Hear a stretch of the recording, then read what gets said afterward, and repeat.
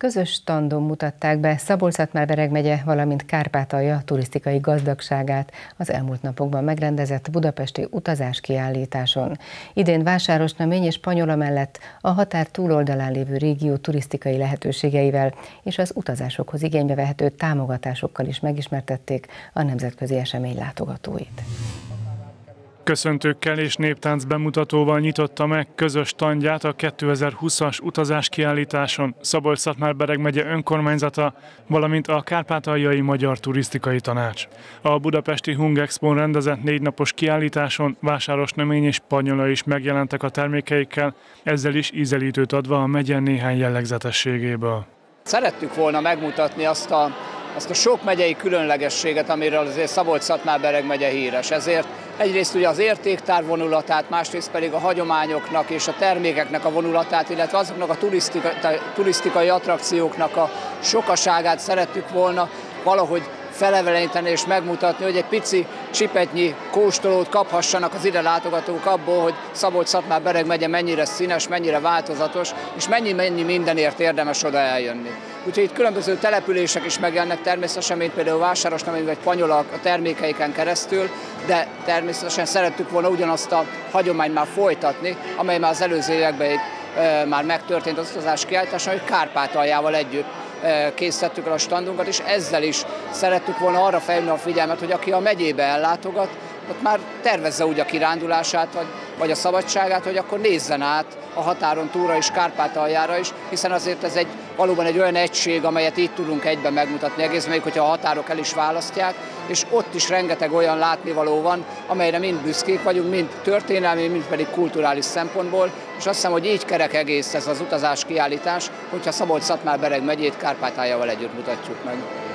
Említette a megye sokszínűségét. Mik azok a, a jellemző destinációk, vagy attrakciók, vagy fejlesztések, ami miatt érdemes Szabolcs-Szatmár-Bereg megyébe látogatni? Rengeteg dolog van, amit meg lehetne említeni, de hogyha egy-kettőt kiemelhetünk, akkor egyrészt mindenképpen meg lehet említeni a pálinkákat, amelyek azt hiszem, hogy a megyére legjellemzőbbek az egész országban, hiszen a Szabolcsi alma, a Szatmári szél vagy az újfejtői fürtös azt hiszem már fogalommá vált, és rengeteg olyan minőségi pálinka főzde van, akik olyan termékeket állítanak elő, amelyek ország és világszerte is eh, sorra halmozzák és hozzák el a díjeket. Erre mindenképpen szerettünk volna építeni. Emellett a különböző termékekre más, és eh, természetesen azokra a turisztikai látványosságokra is, amelyekre már épültek különböző termékcsomagok, akár kerékpáros túraútvonalak, akár eh, egyéb eh, olyan túraútvonalak, amelyek, amelyek mind-mind azt célozzák meg, hogy az a eh, látogató, aki a megyébe szeretne eljönni, ő tudja megtervezni a, a pihenését, egy két-három napot, vagy akár négy napot tudjon úgy eltölteni Szabolcs-Szatmár-Bereg megyébe, hogy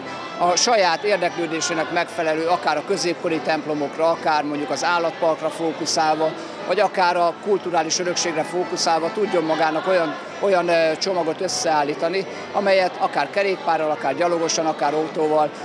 meg tud tenni, és meg tud, meg tud nézni mindent, amit szeretne. Azt hiszem, hogy ebben nagyot léptünk előre az utóbbi években. Természetesen van még előttünk feladat, de bízunk benne, hogy most már valóban sikerül olyan minőségi szálláshelyekkel kombinált turisztikai attrakciókat és csomagokat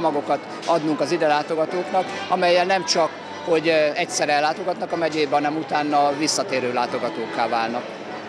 Hogyha egy kicsit a jövőbe tekintünk, akkor milyen turisztikai fejlesztések zajlanak most, vagy lesznek a jövőben, amelyeket érdemes megemlíteni? Én mindenképpen kiemelném azért a kulturális turizmus mellett, ugye itt a középkori templomokra már rá lett építve egy nagyon komoly turisztikai fejlesztés, de emellett egyre erősebb és egyre komolyabb hangsúlyt kapnak a zöld turizmushoz kapcsolódó fejlesztések, és itt kiemelni még egyszer a kerékpáros turizmust, amelyre már több túraútvonal is van. Olyan túraútvonal is van, amely kifejezetten a megyében van, valamilyen tematikus úti céllal, de olyan is van már, amely Kárpátalját is bekapcsolta, például a Beregvidék túraútvonal, amely itt kezdődik nálunk, és akkor Kárpátalja át, onnan pedig visszajöve lehet eltölteni három napot és azért itt még mindenképpen megemlíteném a víziturizmust is, amelyben nagyon komoly fejlesztések lesznek az elkövetkezendő években. Kikötők, szálláshelyek lesznek majd korszerűsítve, és azt hiszem, hogy ez megint egy olyan kitörési pont lehet itt a megyében, amelyre lehet építeni, és amelyből nagyon komoly gazdasági és turisztikai eredményeket lehet elérni majd. Az utazás kiállításon Szabolcs-Szatmár-Bereg megye önkormányzatával évek óta közösen jelenik meg vásáros nömény is, ahol számos turisztikai beruházás és fejlesztés zajlik majd 2020-ban.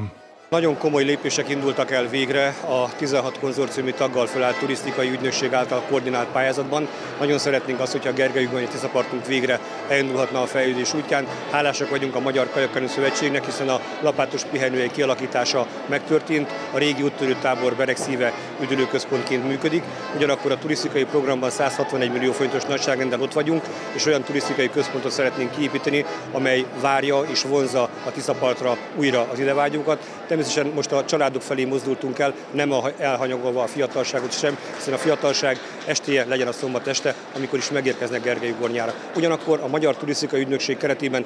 közel 44 millió fontos projekt kapcsán egy ingatlan tudtunk vásárolni, amelyben baba, mama, barát, kiszolgáló helyiséget, ahol a kismamák el tudják látni a gyermekeiket, aztán ezen kívül egy családbarát mosdórendszer kiépítése, tisztálkodási lehetőség biztosítása normális keretek között, illetve ha és amennyiben a fiatalok megérkeznek hozzánk, kiszállva a hajóikból, vagy lepattanva a bringájukról, wifi free wifi találnak, ezáltal kapcsolatot tudnak teremteni a nagyvilággal. Ezen kívül normális öltözőhelyiségek kialakítása is megvalósul a Tiszaparton, és hamarosan modern, korszerű gyermekeink számára nagyon fontos játszótereket is kialakítunk, amelyek mobilak lesznek, hiszen a Tisza amilyen szép tud lenni nyáron, olyan veszélyes is tud lenni az év másik időszakában, de nekünk mindenre fel kell készülni. A Kárpátaljával közösen kialakított megyei stand célja az is, hogy a térségben látogatóknak bemutassák a határ túloldalán lévő magyar lakta települések turisztikai attrakcióit is, valamint hogy tovább erősítsék a két régió közötti kapcsolatot. Fontos, hogy a turisztikai tanács évek óta közösen állít ki Szabolcs-Szatmár Bereg megyével, ami jól mutatja, hogy a két régió elválaszthatatlan a határ két oldalán, és örömmel jelenthetjük 2020-ban, hogy hosszú évek kitartó és közös munkája eredményeképpen visszaállt a turisztikai jelenlét a háború előtti időszakra. Ez jelenti egyrészt a Magyarországról Kárpátaljára látogatók sokaságát, ugyanúgy, mint az ukrán belföldi turizmus jelentős növekedését is. Hogy a kérdésére válaszolja, Kárpátaljának a vonzereje az a sokszínűség, amely kultúrában, a sok nemzetiség által lakott megyében a, megjelenik, történelmi, magyar történelmi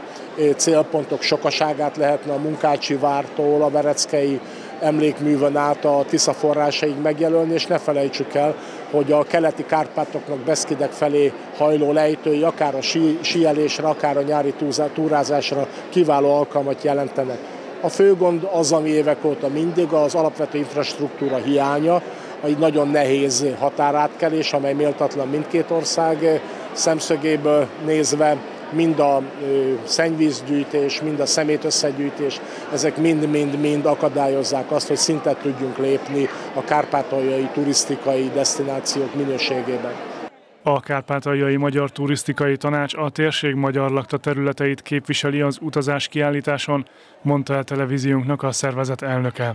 Legfőbb céljuk, hogy a Kárpátaljára érkezők számára megfelelő szállást, idegenvezetést és színes programokat, bemutatókat és kóstolókat biztosítsanak. Kárpátalja még megőrizte azt a, azt a, a 90-es évekbeli hangulatát, ami, amit már a, a többi határon túli régió már elveszítette. Árban olcsóbbak vagyunk, mint más régiók, és minőségben már úgy gondolom, hogy mind a szállás, mind a, a vendéglátás minősége az eléri a, a, akár a magyarországi színvonalat is. Minősített vendégházak vannak, a magyarországi napraforgós minősítési rendszert tudtuk nálunk is bevezetni a Magyar Turisztikai Ügynökségnek a, a segítségével a vendégházaink a magyarországi standardnak megfelelően vannak felszerelve, idegenvezető képzést tartunk Kárpátalján, én már 2019-ben második alkalommal, már több mint 40 fiatalnak adtunk idegenvezetői oklevelet. Mester András hozzátette, folyamatosak az infrastruktúrális fejlesztések a térségben, a magyar kormány pedig számos programmal támogatja a régióba utazókat, melyekről Csáki Csongora, Rákóczi Szövetség elnöke tájékoztatta az érdeklődőket. Azt tudjuk mondani most már négy év távlatából, hogy az elmúlt években mintegy 20 ezer ember látogatott el Kárpátaljára ennek a programnak a támogatásával, közreműködésével, és ezt a sikertörténetet szeretnénk továbbvinni, az idejében is meghirdette a Rákóczi Szövetség azt a lehetőséget, hogy azok a közösségek, az idei év során ellátogatnak Kárpátaljára, az utazók számától függően 300 ezer forint utazási támogatást pályázhatnak a Rákóczi Szövetségnél. A pályázat a Rákóczi Szövetség weboldalán egyszerűen benyújtható, tette hozzá az elnök, aki azt is elmondta, hogy nem kell, hogy az utazni vágyó közösség a bíróságon bejegyzett szervezet legyen.